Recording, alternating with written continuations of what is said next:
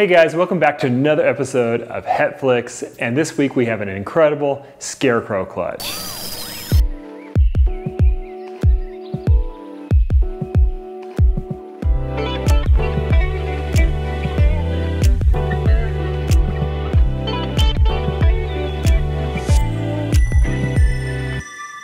So this week on the vlog, we have an awesome story time and we're gonna look at a crazy, crazy hurricane scarecrow clutch that just hatched. But Before we get into that, I wanna give you guys the story a little bit of where the scarecrow name came from. So back in 2016, I just kind of was launching the whole Batman thing. It was a real big surprise to me that turned out as crazy as it did. And we were just trying to make as many incredible Batman combos as we could. And one of the big ones we had in mind was the Coral Glow Batman. So we bred, I think it was a Batman male to a Coral Glow Het Clown female and the clutch was absolutely phenomenal. It blew us away because of course the Batman has one of the craziest cool clown patterns in existence and then just to layer on the Coral Glow color on top of that was just mind boggling. And honestly, as cool as a Scarecrow was with the crazy pattern, the Leopard Coral Glow Clown ended up being just as good, and that was also the first for that combo in that clutch.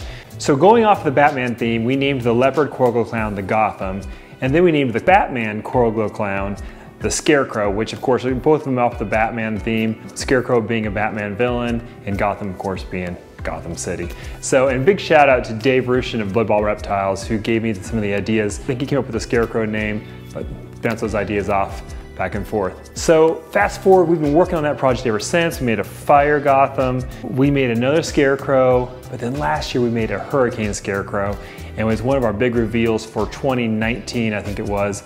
It was absolutely insane, and it made the pattern even crazier. Let's go check him out first, and then we're gonna look at the clutch that he gave us to a normal clown female and see what all those variations look like by themselves. So before we go look at those babies, I wanna show you the original Scarecrow female so you can see how she's changed over the years. So she's from 2016, so she is five years old now. And look, it still has a great pattern to her. A lot of those purples in the coral glows kind of fade over time. They become just kind of two-toned.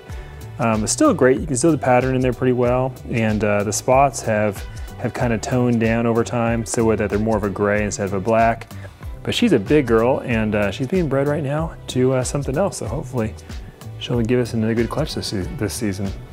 So here is the Hurricane Scarecrow, the breeder boy. And he has gotten really, really, really big, but still looks amazing. Has excellent, excellent contrast. You see all the spots coming in course, from the coral glow, as they get older, they get more and more spots. But he's incredible, and he's a female maker. So in this clutch we got, all the coral glows ended up being females. So we'll check those out in a little bit. But an awesome stud male, we've been using him a lot and trying to add, it's hard to know what to add to this because most things you add in would actually make the pattern lighter um, and uh, make some of the contrast disappear. But we want this to be even darker and better. And uh, we have some really cool ideas for uh, 2021 season about what to add into this. So in the same clutch as the Hurricane Scarecrow, we actually got a Hurricane Leopard Spot Nose Coral Glow Het Clown. So this is a big, big female. And you see how similar she actually looks to the visual Hurricane Scarecrow. The clown doesn't change it that much. You get most of the pattern in just the head. So uh, it's really interesting to see sometimes you can just put the right genes together and end up with something that's nearly as visual as even if it had the visual recessive in it.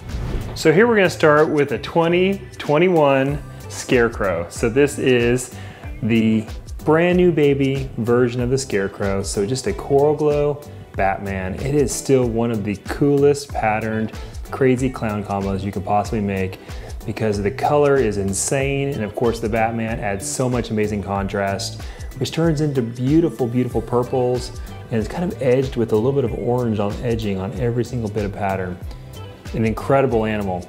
Now we've got a bunch of really cool stuff in this clutch. It's hard to hit the odds because even though we're going visual to visual, we had four different codoms in the mix, a leopard spot nose, coral glow, and hurricane.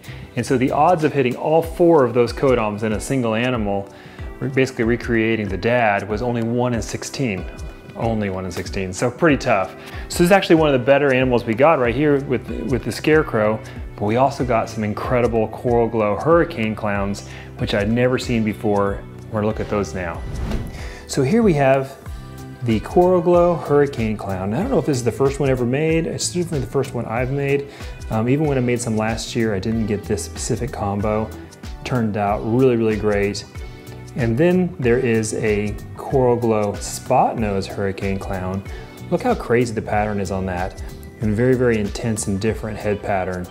These are, these are new combos to me, absolutely incredible and just look at the color palette. Now with these coming from a male that's a female maker, every single Coral Glow in the clutch ended up being a female, which was actually really nice because female Coral Glows can be kind of hard to find because most people have male makers. And the last two babies in the, that were Coral Glows in the clutch were two beautiful female Gothams. So the Gotham is of course a leopard Coral Glow clown. And what I love about these is they're just so clean.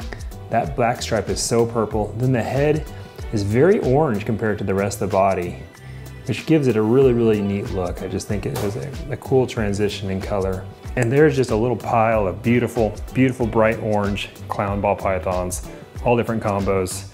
Really can't beat a clutch like this. So I gotta show you the last two in the clutch. They're actually the two, only two non-Coral Glow combos. And of course, they're both clowns, they're both Batmans.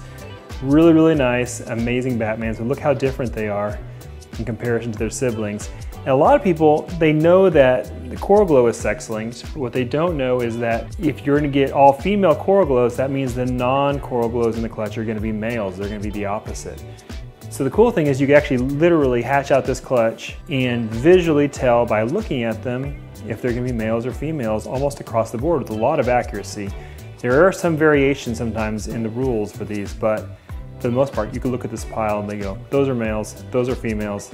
Nice and simple. What a cool contrast in that whole clutch. All right, there you have it. That's the Scarecrow story, the Coral Glow Batman clown, kind of how we all started and where we've gone so far. And uh, really excited every time we hatch something like these. They're just so beautiful, so special. And uh, it never gets old really making some of these amazing, amazing combos. Even if they've been around a while, they just still blow me away every time. Hope you guys enjoyed the video. Be sure to like and subscribe, and we'll see you again next week.